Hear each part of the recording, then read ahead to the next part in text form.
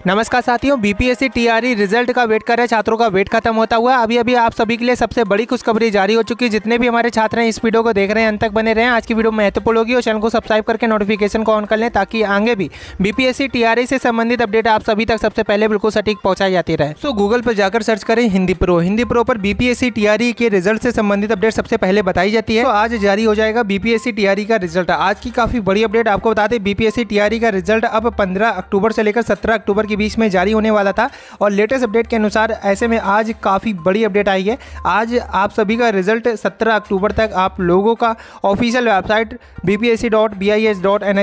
पर आप देखने को मिलने वाला है। जी हाँ दोस्तों, आज की लेटेस्ट अपडेट आ चुकी है हमारे बी पी एस सी के छात्रों के लिए। बी पी एस सी यानी कि बिहार शिक्षक भर्ती परीक्षा की फाइनल आंसर की बिहार लोक सेवा आयोग ने जारी कर दी है और बी पी एस सी की फाइनल आंसर की अपलोड होने के बाद अब आप सभी के रिज़ल्ट भी आज शाम के पाँच बजे तक ऑफिशियल वेबसाइट पर जारी किए जा सकते हैं। आज के लेटेस्ट अपडेट के अनुसार। 17 अक्टूबर, यानी कि आज आप सभी का रिज़ल्ट ऑफिशियल वेबसाइट पर शाम के पाँच से लेकर आठ बजे के बीच में ऑफिशियल वेबसाइट पर जारी किया जाना है। आज की काफ़ी बड़ी